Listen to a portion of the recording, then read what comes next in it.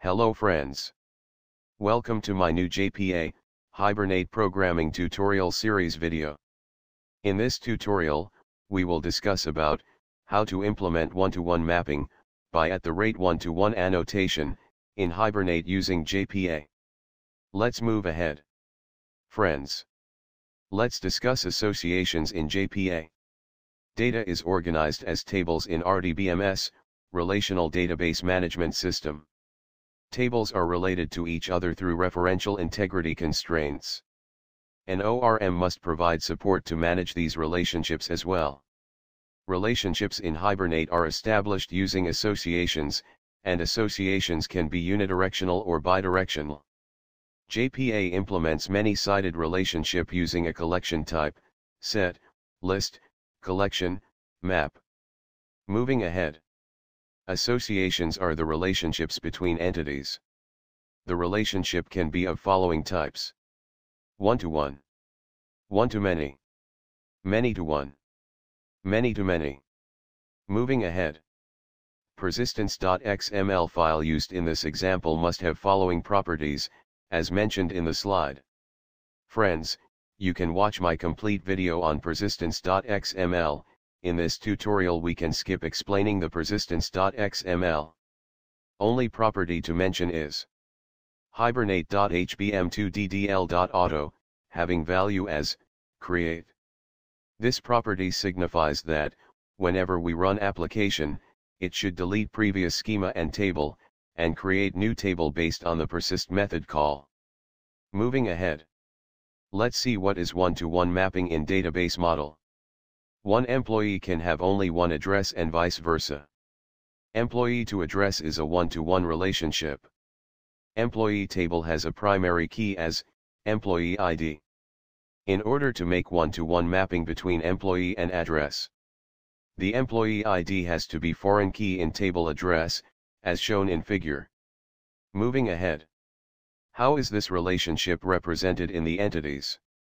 Employee entity has a reference to address. Address entity has a reference to employee and annotation used is at the rate 1 to 1. In coming slides we will look into this more and discuss how all is done. Moving ahead. Let's create an entities by name employee and address. In order to know more about entities, please watch my previous videos on JPA. Let's move ahead and discuss, how can we map employee and address as one-to-one. -one. Both employee and address has a reference to each other. That means, employee entity has address as one of its property. Similarly, address entity has employee as one of its property. Here, both the properties in employee and address, has to be supplied with at the rate one-to-one annotation. This annotation tells Hibernate that one employee is to be mapped by one address. Since, employee ID has to be made foreign key in address table. We have to follow two things. Number 1. Put at the rate join column annotation over employee property in address entity, and provide name of the column, which will hold employee ID value in address table as foreign key. Number 2. Provide mapped by value as employee for at the rate one-to-one -one annotation, which we have placed on address property in employee entity. The mapped by value here is employee, this name has to match with the instance variable name employee in address entity. Mapped by value should be provided, otherwise there will be sort of bidirectional relation. That is employee entity primary key will be foreign key in address entity and address primary key will be foreign key in employee entity. Moving ahead. Let's create test class to create one-to-one -one mapping. Let's discuss the code point by point.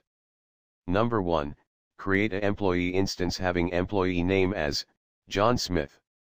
Moving ahead. Number 2, create a address instance having street name and zip code as, Park Street and 4110678. Moving ahead.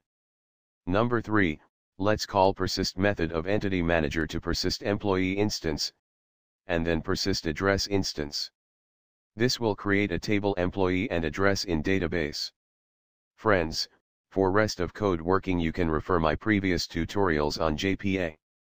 Moving ahead. Let's check database for table employee and address and run a select query on it, as shown in figure. The image in slide displays the single row for employee entity, having employee ID and employee name columns into it.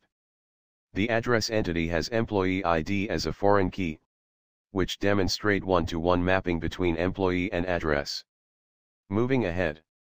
So friends, this was the tutorial on how to implement one-to-one -one mapping by at the rate one-to-one -one annotation in Hibernate using JPA. So friends, go through this video two to three times so that, one-to-one -one mapping concept in JPA gets more clear to you. Hope you like this video. Please give one minute to like, share, comment or subscribe my channel, or you can visit my website at www.hubberspot.com.